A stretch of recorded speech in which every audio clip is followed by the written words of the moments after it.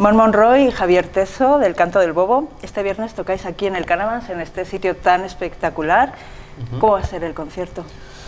Bueno, pues el concierto va a ser un poquito la antesala de lo que va a ser nuestra gira este verano, ¿no? O sea, nosotros ya toda la gente que nos sigue y que nos conoce de la ciudad y alrededores ya sabe que nosotros hacemos un tributo a los 80, con los grandes éxitos de los 80 y todos los años pues hacemos variaciones en el repertorio y vamos a presentar pues este viernes aquí en Teatre, Canavans Teatre, pues por la nueva gira 2020 con temitas nuevos y sorpresas.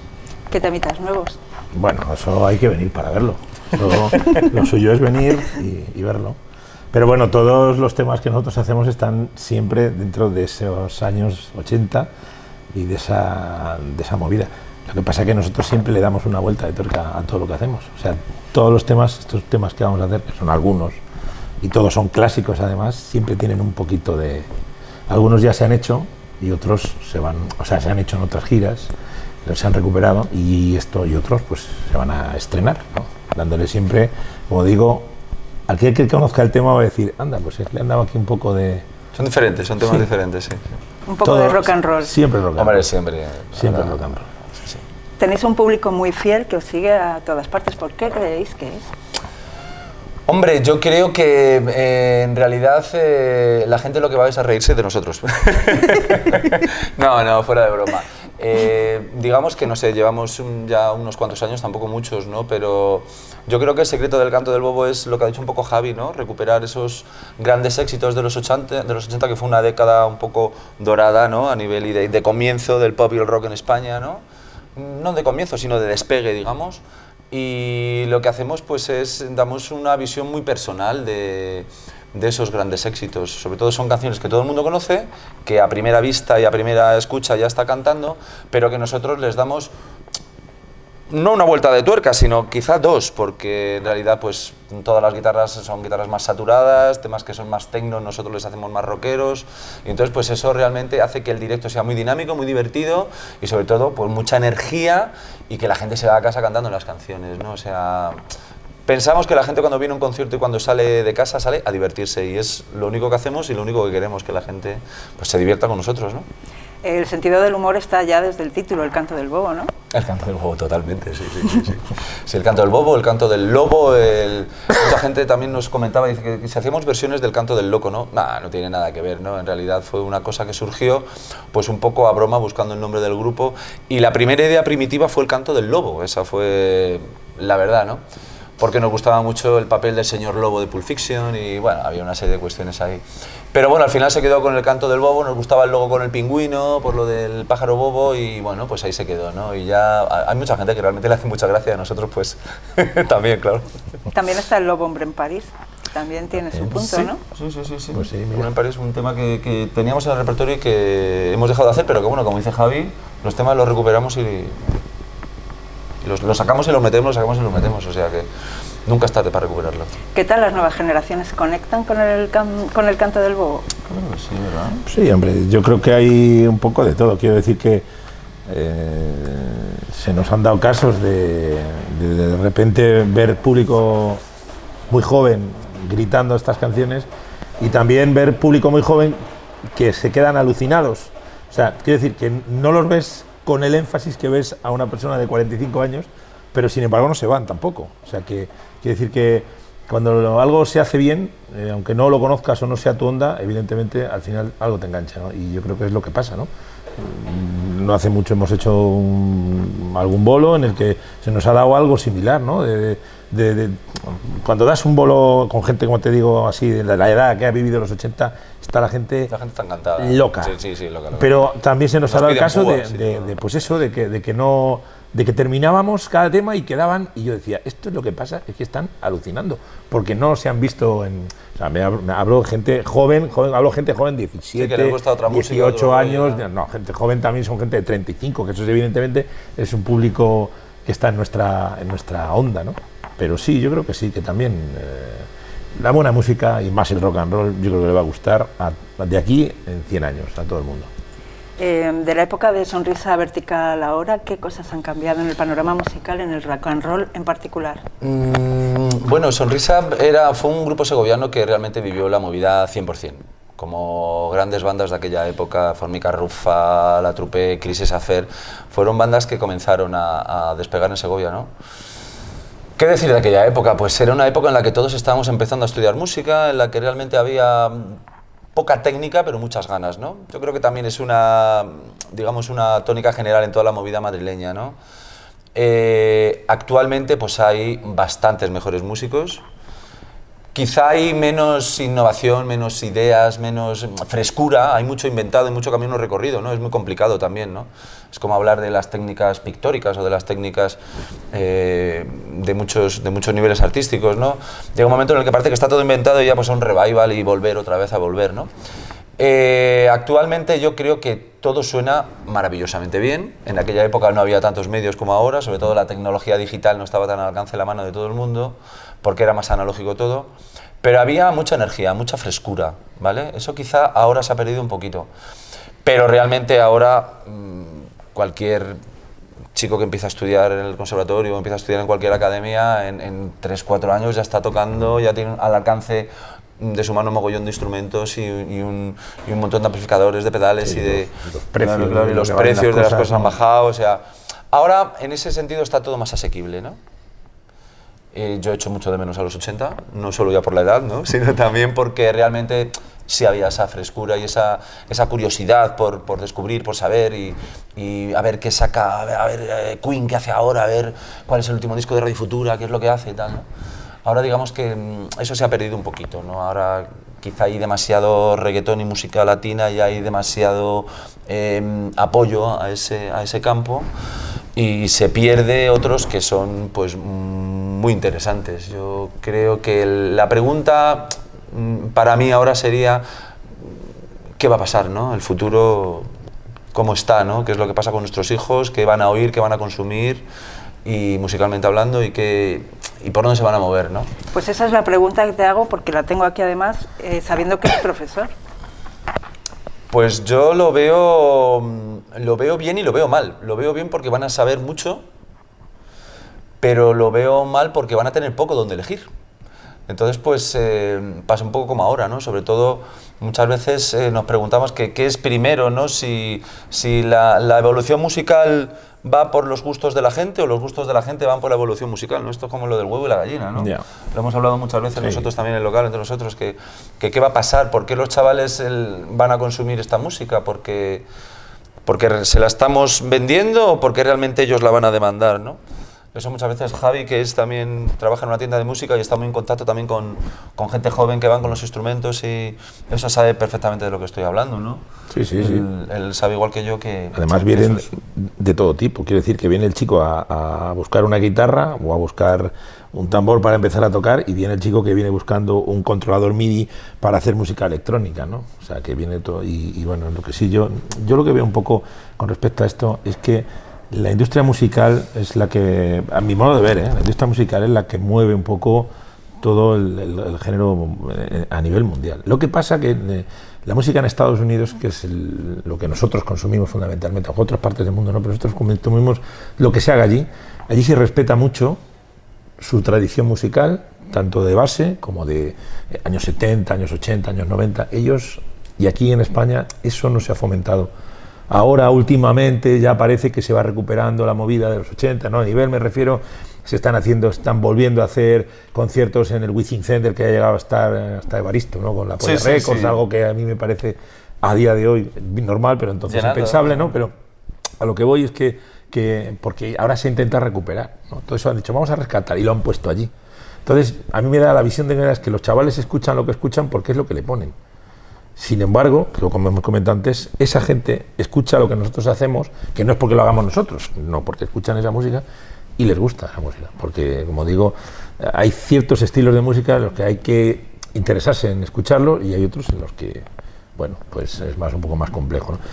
A día de hoy hay, tienes la aplicación de turno en la que puedes escuchar lo que quieras, porque yo creo que los chavales hoy si quieren escuchar cualquier tipo de música, puede que yo no podía Yo escuchaba los discos de Polis que a lo mejor mi tío Que lo traía íbamos a metralleta por ellos a Madrid, o a Disco Play, lo te- eso, algún amigo que te dejaba una cinta y tú grababas y pero y estabas ahí con el cassette, ¿no? Para darle al play Claro, para grabar claro, claro. lo que te echaban en los 40 y, y hoy en día tienen un abanico grande y a mí por eso me parece un poco no triste, pero bueno, que no sepan salir algunos, ¿eh? Algunos quiero Sí, el acceso, porque el acceso era diferente. el porque acceso es eh, ahora mismo es, bueno, Hablábamos de la Disco palma de Play, la pero mano. claro, aquí en Segovia teníamos a Totem Vértigo, que era una de las grandes tiendas Y está, ¿no? que Está nos surtía y sigue funcionando y que llevan, es un negocio familiar que lleva toda la vida funcionando y, y proveyéndonos de música, ¿no? Ahora actualmente, pues fíjate, en cuanto con el móvil puedes escuchar lo que te dé la gana en cualquier lado, lo cual está bien, está muy bien porque puedes acceder a todo, pero te, te coarta un poco esa curiosidad y ese a ver qué va a pasar, a ver cuándo sacan el disco. y hay demasiado en muy poco tiempo. Yo creo que es un poco apabullante la información que tenemos, pero a nivel tecnológico, a nivel musical y a todos los niveles, a nivel de moda de ropa, a nivel de todo.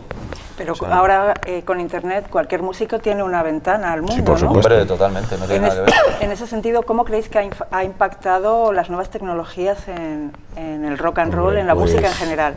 Yo creo que, eh, fíjate que al principio, al principio hay que remontar, porque, por ejemplo, que a finales de los 90, años 2000, era el gran enemigo, ¿no? Se veía el, el gran enemigo de la música, era Internet, el Napster, el, el- el- el compartir la música sin pagar, ¿no? Luego nos impusieron el canon digital, que, bueno, en cierto modo está bien, aunque es un poco, es un poco amplio, pero bueno, al final nos hemos acostumbrado como al IVA y entonces ahí está, ¿no? Pero lo que sí me parece es que ahora mismo cualquiera puede en su casa grabar un disco y colgarlo en Spotify. Y si tiene una buena promoción a través de YouTube, si él se lo ocurra, una persona desde su casa con una cámara como las que tenemos aquí puede Se ser puede un, hacer sus un- vídeos un y su- youtuber, influencer de- y hacer vídeos y, y al final tener un montón de seguidores y hay gente que ha salido Grandes artistas han grandes que salido. han salido de ahí, ¿no? Sí, Son Mendes Entonces, salió así, ¿Qué Pablo pasa? Alborán, o sea, hay ¿sabes? Lo, que pasa han- con esto es que, claro, el, el acceso está a todo el mundo. Entonces eh, se multiplica el número de personas que pueden hacer eso, con lo cual todavía es más difícil llegar a la punta. Si antes era complicado, ahora me parece muchísimo más. Porque Sí están que es todos, cierto que sí, claro. están o estamos todos Sí. ahí, ¿no? Con lo cual ya... Yo me acuerdo cuando nosotros estábamos en los 80 que grabar un disco era muy difícil. Porque grabar un disco, aparte de que en España solo había dos fábricas que fabricaban, había muchos estudios y carísimos. Y solo había acceso de ahí, pues o pagando o a través de discográfica, ¿no? El que grababa un, un disco, un LP, un long play que llamábamos, lo que es un vinilo, es de triunfar.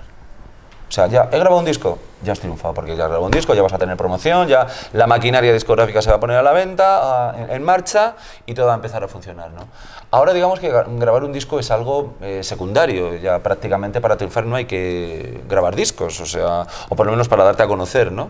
Como lo dice Javi, haciendo una plataforma en YouTube, en tu canal, o con buen movimientos en Facebook y tal, pues, y en redes sociales ya puedes empezar a funcionar. Ha cambiado todo muchísimo. El mercado ha cambiado mucho. Las discográficas ya no hay miles de sellos que apuestan una- unos por el rock, otros por el rockabilly, otros por. No, ya las grandes discográficas han absorbido a, las pequeñas y en España, pues yo creo que está Sony, Warner y, y Universal. Queda una pequeña. no sé, bueno, luego están las independientes y Subterfuge y y tal, pero, o- pero las grandes han absorbido a todos los sellos y entonces ellas son las que realmente están, pero no en, en España, sino a nivel mundial. Prácticamente el, el mercado ya en ese sentido ha cambiado, ¿no? Pero bueno, mm, lo importante es que hay que seguir funcionando y sobre todo el aspecto que a nosotros más nos interesa pues es el aspecto de directo. De directo, que es donde realmente lo damos todo. Nosotros somos un grupo de versiones en realidad, o sea, y nosotros lo que hacemos es tocar en directo. Aparte del canto del bobo, ¿qué cosas tocáis y qué cosas escucháis? Bueno, Anímate. yo, Aparte de Maluma Baby, yo las escuchas eh, que yo tengo son un poco dispares. O sea, eh, a mí me ha gustado siempre esta música que nosotros hacemos, pero escucho muchos, muchas veces escucho el rock español de, de ahora, o algo de indie de ahora también. Eh, y luego, pues te- en, en mis escuchas siempre está Jimi Hendrix, que para mí es el de referente, es el referente que va conmigo a todos los lados, pues lo llevo de fondo de pantalla en mi móvil. Y Steve Ray Vaughan y los grandes del blues y del blues rock tejano, eso es lo que realmente eh, a mí me gusta. Los años 70, Liner Skyner, toda esa onda de, de, de aquellos Rock años. Exactamente, todo ese rollo es lo que es lo que a mí más. eh, luego también a lo mejor un poco más atrás, años 50 también me gusta. tengo algunos amigos que hacen algo de, de, pues esto de rockabilly y, y entonces todo un poco antiguo vamos a llamarlo no o sea Malumba no, me parece que no sé ni quién es o sea me lo pones entre tres iguales y no te sé quién no te sé de distinguir pero bueno que sí eso ¿no? y luego pues eh, eh, lo mismo la guitarra no lo mismo la guitarra pues aprovecho y toco lo que lo que bueno lo que escuchas o lo que intentas porque siempre es una buena referencia para luego llevar al directo no para hacer tu, tu propia tu propia música. Pero sí aquí en España hablando de eso yo tengo un grandísimo referente que es Carlos Raya que es para mí el mejor guitarrista y productor y, a nivel de España aunque luego hay algunas figuras muy interesantes en el panorama español que escucho yo mucho mucho como Diego García por ejemplo que es el tuanguero un tipo que toca la guitarra que es es un, tío solo, hace callar una sala completa, baja el volumen de su guitarra, una guitarra de caja, se pone a tocar y todo el mundo está expectante qué suena cuando está tocando. La banda se calla y el tío toca. Y eso es muy difícil de conseguir con una guitarra, o sea, un espectáculo en el que con una guitarra solo. Entonces, bueno, ya te digo, eso es un poco lo que yo, a lo que yo me, me- me- el poco tiempo que tengo, dedico a la escucha, desde luego. El poco tiempo que tiene, lo escucha todo, todo eso. ¿El tuanguero hizo un disco con el Cigala? ¿Puede ser? Eh, hizo un, un disco que se llama Argentina Songbook, en el que recuperan eh, el- el- la música tradicional argentina y de- él le da su visión. De hecho, el, el apodo del tuanguero se lo dieron allí, ¿no? porque el tanguero son aquellos que hacen tango y tal. Entonces, con Diego Cigala hizo una canción que se llama Naranjo en Flor, que es preciosa. Bueno, Diego Cigala se sale ahí, es el tipo que es, es el mejor tío que he visto yo en directo. eh, hacerse hacerse con, con todo un grupo, ahora que hablábamos de gente joven, en el Sonorama hace un par de años. Mm. Sí, sí, sí, salió allí acuerdo, y se hizo con todo el mundo eh, después de empezar 45 minutos tarde. Fíjate que somos muy sonorama. El, el grupo, lo que decía él antes de, de la música indie, alguna vez en el local hemos hablado del tema de que el indie ha salvado un poco el rock en España. ¿no? Sí. Mm, Cuando llegaron los 90 al 2000, quizá pues tuvo una efervescencia porque el rock de los 90 no tiene nada que ver con el rock de los 80 y luego ya pues comenzó la música electrónica y la música latina y todo es vínculo un poco. Entonces hubo un bajón muy grande de las bandas de rock en España. Ya dejaron pues bandas capitaneadas por Fito Platero, tal, ya se desviaron por ahí el canto del loco, que era más pop rock, pero, pero luego hubo un vacío bastante grande ahí y el, el indie fue el que empezó a recuperar un poquito Planeta, Lori Meyers, tal, toda esa onda, empezó a levantar un poco. Y Sonorama en ese festival, pues realmente es un gran apoyo, además lo tenemos cerca, nosotros tenemos vinculación con Aranda de Duro, trabajamos con varias agencias allí que nos llaman para hacer eventos y cosas. Y, y realmente es un festival importante, aparte de todos los que hay en España, ese es un festival estandarte del indie. muy y cada día cada, cada vez más. Y cada vez más, porque Cada cada, vez vez más, el año pasado ya cambiaron de recinto, ya es otro recinto más grande, escenarios ya más se grandes, hace y- dentro y fuera, o sea, la gente ya organiza fuera, en bares y tal. o sea, sonorama No, es es, algo es, que- es- se escapa o Sonorama Se ya está haciendo- está- se está internacionalizando, Sí, o sea, sí, es sí. una cosa... ¿Y tú eh, qué escuchas? ¿Cosas que tocas y escuchas? Mm, Bueno, pues eso es muy buena pregunta, porque yo eh, la verdad es que cada vez escucho menos música, fíjate lo que te digo. Quizá a lo mejor porque soy profesor y estoy todo el día con la música, cada vez escucho menos música, pero he escuchado absolutamente de todo. Absolutamente de todo. He tenido mi época rock. mm, Bueno, en- quizá en mis- con mis 18 años era más puncarra, ¿no? Era más, más ramoniano, de Clash, y Sex Pistol y toda esa onda. Y, y recuperamos un poquito todo eso, ¿no? Quizá empezamos un poquito así, ¿no? Lo que pasa es que luego, claro, empecé a estudiar eh, composición y armonía y ya me dio por el jazz. Entonces comencé con el piano y temas de composición y bandas sonoras y cosas así. Y escuché mucha música, mucha música de clásicos de, y sobre todo de, de compositores actuales de bandas sonoras, ¿no? Vale, John Barry y toda esta gente, ¿no? Y actualmente escucho absolutamente de todo. Todo lo que me gusta lo escucho. No soy una persona que vaya con los cascos, ¿eh? No me pongo cascos, no...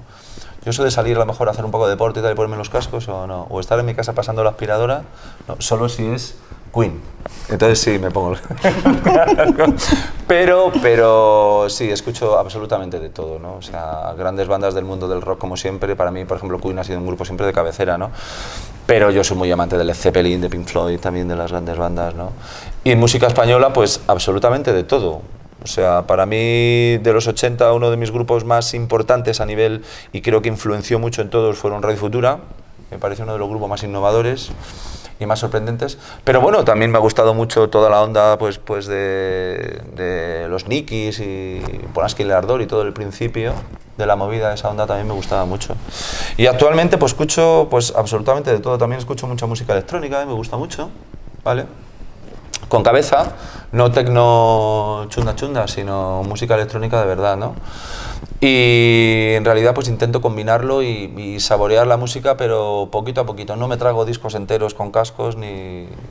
Bueno, y cuando estoy un poco deprimido pues me pongo el Back in Black de ACDC a toda pastilla y ya está. No hay más que hablar.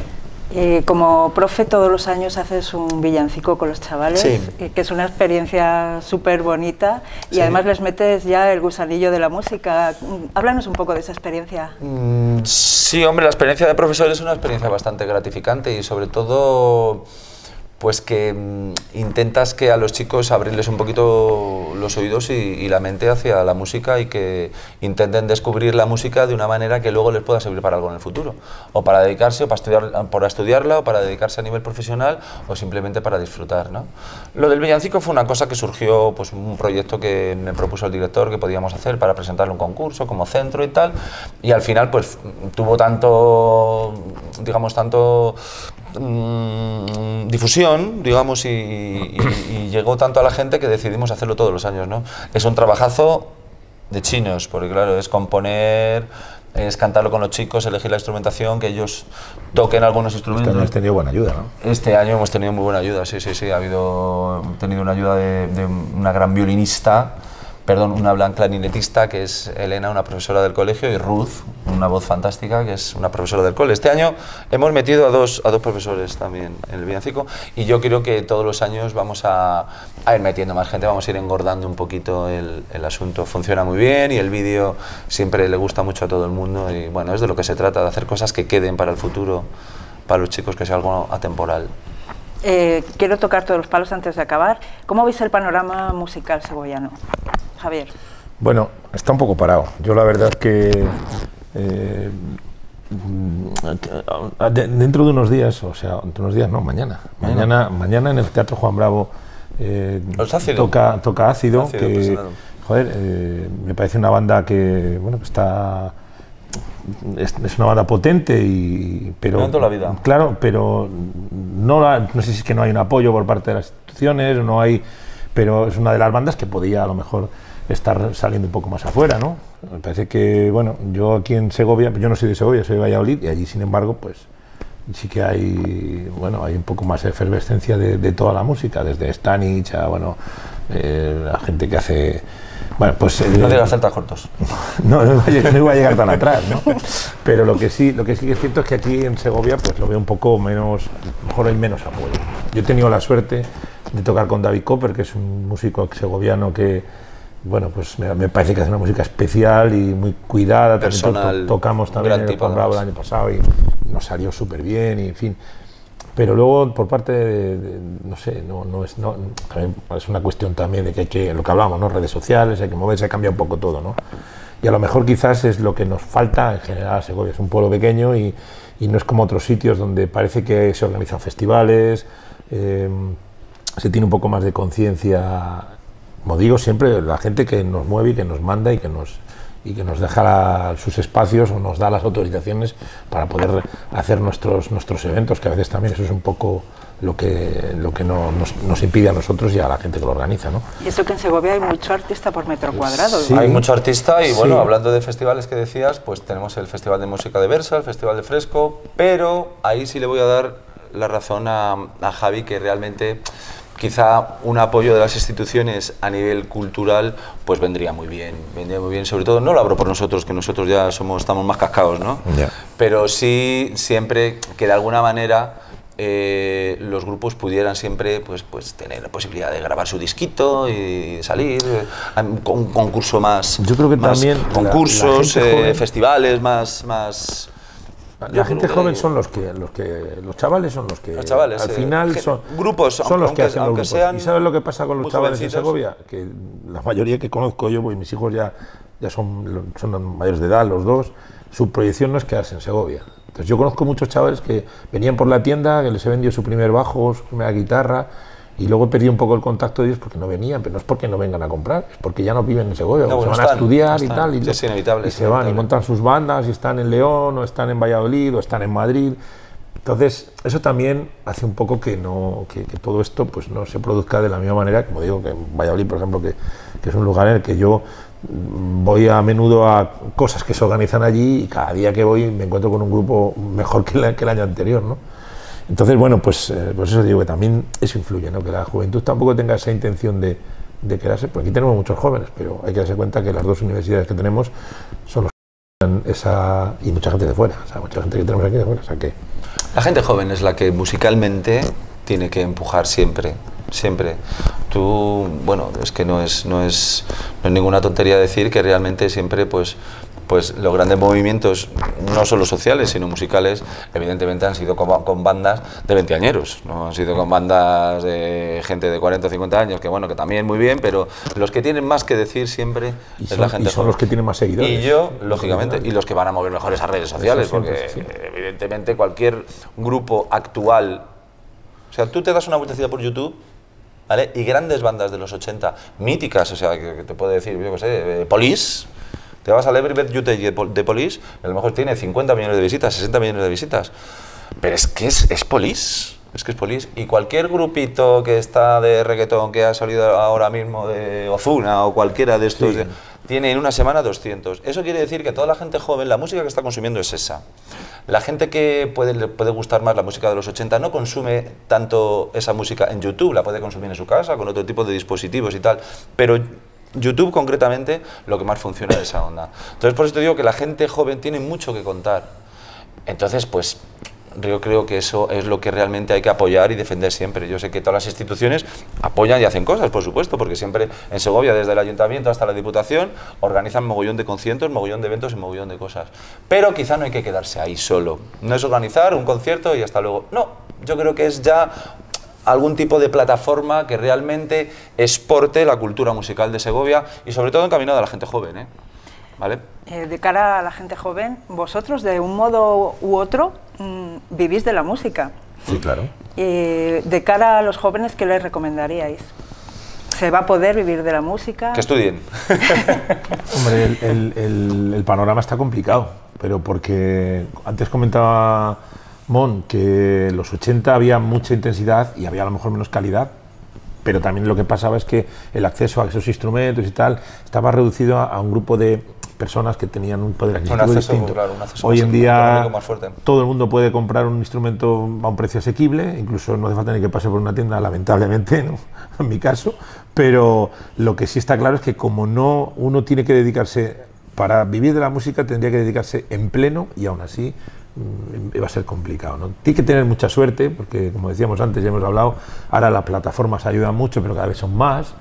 Y, y bueno, yo lo que ha dicho Mon, que para eso es profesor, ¿se puede vivir de la música? Sí, a lo mejor siendo musicólogo, por ejemplo, a lo mejor siendo, a lo mejor claro. siendo, eh, eh, yo tengo la suerte de conocer a un gran compositor aquí en Segovia, Rubén Cid, que es un tipo que, y director de orquesta, un tipo que es, está ya en la estratosfera, lo que aquí en Segovia, pues es lo que digo, ¿no? son cosas que, que luego tenemos esa gente en Segovia, no les apoyamos, tienen, se tienen que ir fuera.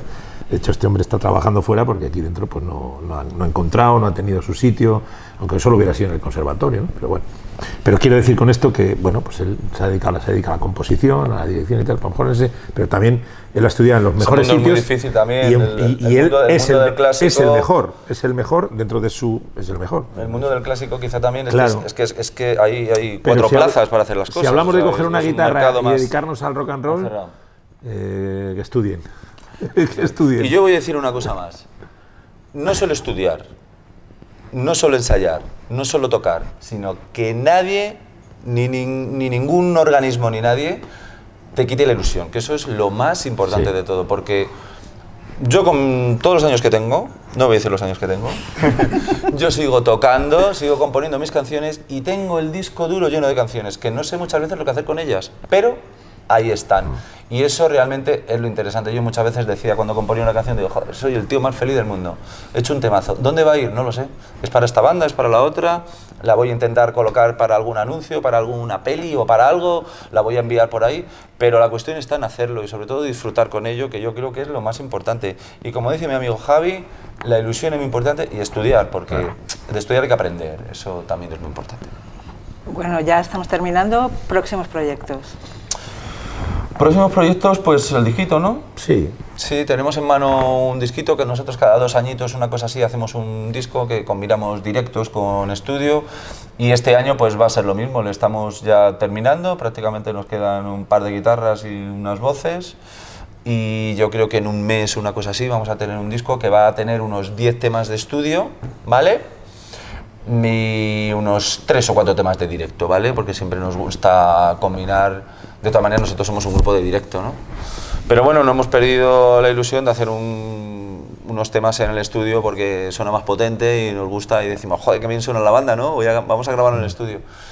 Y ese es nuestro, nuestro quizá mayor eh, proyecto y sobre todo dar un montón de conciertos, que tenemos un montón de conciertos ya a la vista, hacernos una buena sesión de fotos, ponernos un poquito de pelo.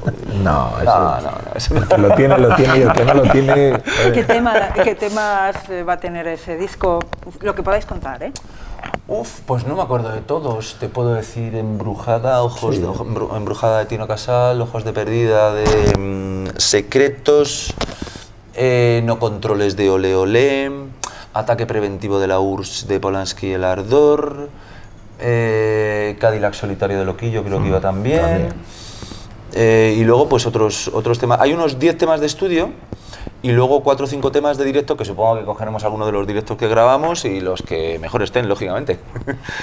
Vamos, elegiremos los que mejor estén y los que mejor sonido tengan y más gancho tengan con la gente, que parece que no, pero eso en directo se nota mucho. Se nota mucho Pues ya por último, ya podéis recordar el, el concierto de este viernes. Bueno, pues... Dilo tú, Javier. Mañana Mañana, día 20. ¿Qué?